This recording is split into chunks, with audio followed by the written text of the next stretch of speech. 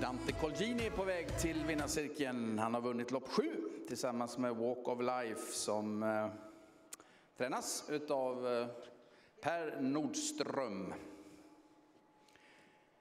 Grattis Dante! Tack. Det var bara för Per att sätta upp dig så fick hästen första segern. Ja, det är första gången jag kör för Per faktiskt. Ja, det gick ju bra ju. Ja, det var det blev ett rätt så rivigt lopp. Det var eh, omstarten så såg jag att många blev upphetsade, men eh, min höll sig ändå hyfsat eh, lugn, så jag tog det bara lugnt från start, för jag kände att det skulle gå rätt så fort hela vägen. Och så gav du, ja, du gav hästen ett bra lopp. Fick ett bra lopp.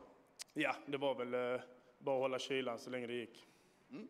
Stallet ute Romo i sista loppet. Den, den ser knepig ut.